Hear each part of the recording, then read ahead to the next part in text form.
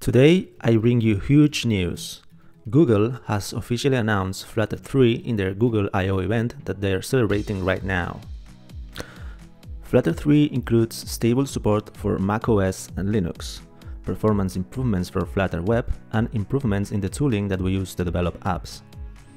They have also announced a new version of Dart with substantial improvements, full and official Firebase support for Flutter, and also, and this really caught me by surprise, they have announced the creation of the Flutter Casual Game Toolkit, a set of resources to get started in game development with Flutter. The team behind Flutter already announced stable support for Windows a few months ago, and with the announcement of the inclusion of official support for macOS and Linux, we can already say that Flutter is a fully cross-platform tool that allows you to compile the same codebase in six different platforms Android, iOS, Web, Windows, macOS, and Linux. You can now create beautiful macOS applications in which you can use the macOS UI package to use macOS specific widgets. You can also sign your apps the same way you might sign a native app to prevent users from receiving a warning about an unknown developer. This new release also brings full support for Apple Silicon, the new range of powerful, efficient and quiet M1 chips created by Apple. This support is not only for the development tools, it is also for the execution of the binaries compiled with Flutter in such a way that it is no longer necessary to depend on the Rosetta translation. In addition to the official support for macOS, and thanks to the collaboration that Google has had with Canonical, the company behind the famous Ubuntu distribution, Flutter 3 also offers full support for developing applications on Linux. There are already multiple packages to start working with this wonderful platform that provide UI resources, access to system services, and more.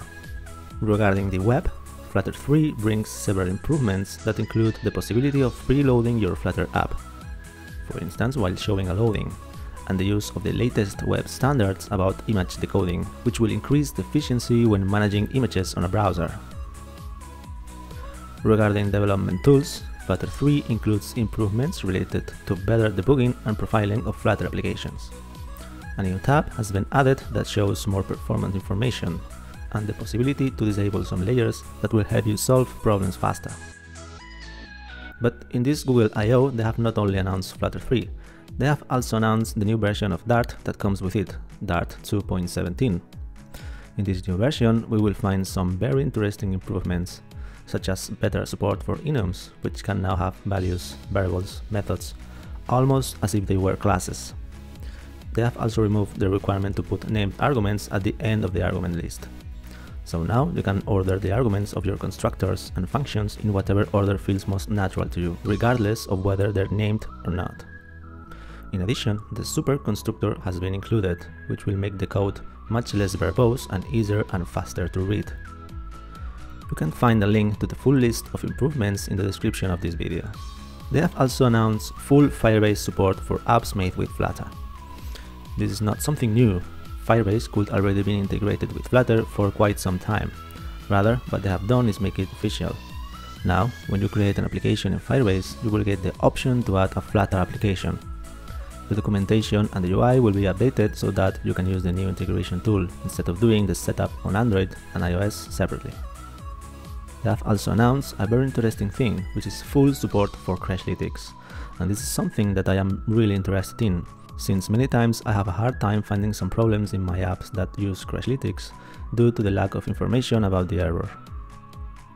To finish, and I can guarantee you that I was not expecting this at all, has been announced the creation of the Flutter Casual Game Toolkit, a set of resources that includes a sample game, learning materials, community spaces, and even credits for Google Developer Services.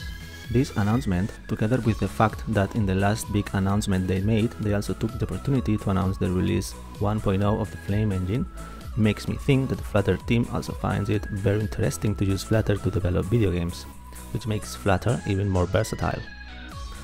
Honestly, I'm amazed at how fast Flutter is evolving, and I'm already looking forward to trying all these new things they have announced. If you want me to share them with you and see in detail all these exciting new features, then don't hesitate to subscribe to this channel.